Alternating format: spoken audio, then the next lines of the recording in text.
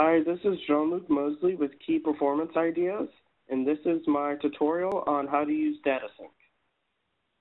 What I have here is some data in a BSO cube, and I would like to move it to an ASO cube, which is on this tab.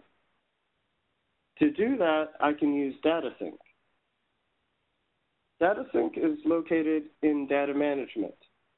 To set up DataSync, First, you must go to the target application under register and set up your target application. In this case, since we are going from a BSO cube to an ASO cube, our target application will be an ASO cube. In this case, it will be an Essbase type cube. After setting up your target application, you want to set up your import format. The import format we currently have set up is called Data SIF. When setting up this import format, it is important to specify both the source type and the target type. Make sure your source type is set to EPM and your source is BSO cube. In this case, our BSO cube is called Plantastic 1. For the target type, you must also select EPM as well, and select your ASO cube or your desired target cube as your target.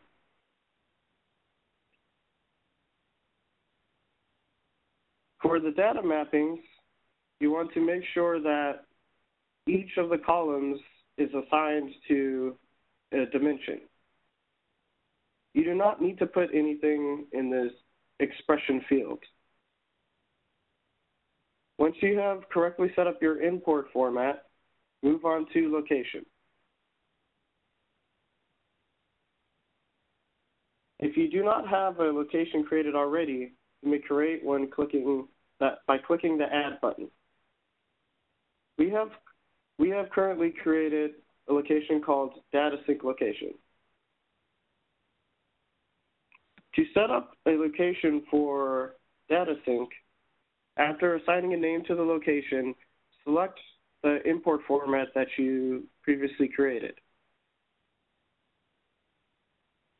Make sure that the source is set to your BSO cube. Once again, in our case, we're using Plantastic 1. And set your target to the ASO cube. After location is set up, move to period mapping.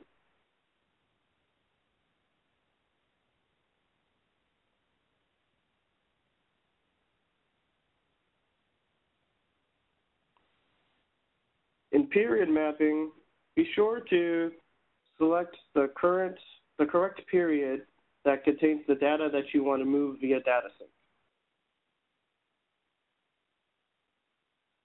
Make sure that the period is in both global mapping, application mapping, and source mapping.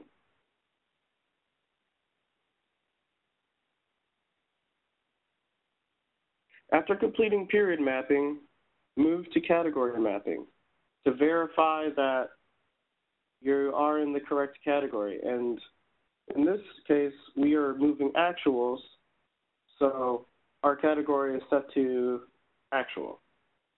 You may also use DataSync with budget categories or custom categories that you have set up. Now that the setup for DataSync is completed, it is time to move to workflow.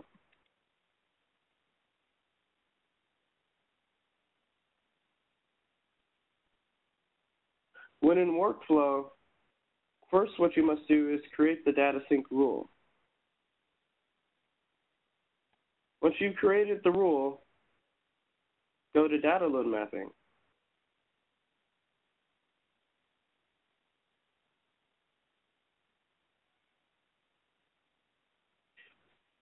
Here you will map the dimensions specified in the import format to the target dimensions in the application. For data sync, you do not need to have any specific mapping, so In this case, we will use like mappings for all of the dimensions.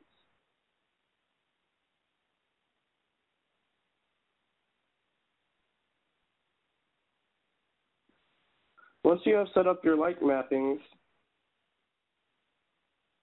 you may set up the source filters for the data sync rule. Source filters are required in order to get the data sync rule to run correctly.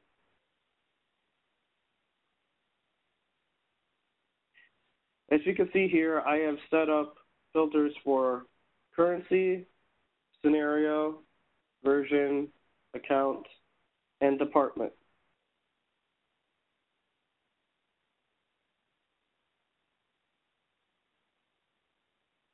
Additionally, when setting up your data load rule, you want to select your source plan type to the Plantastic Cube. In this case, it is set to main. Some applications might also have an employee cube as well. So be sure to select the correct one that you want the data to come from. Now that the data load rule is set up, You may click execute to run it. You may check all of the boxes and select the start period and end period that contains your data.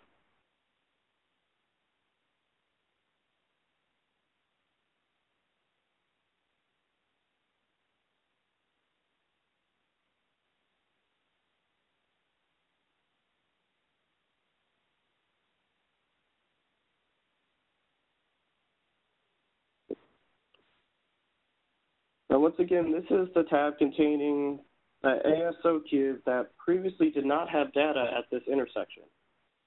Once the rule has run and I refresh, I should see the data from the BSO cube move over.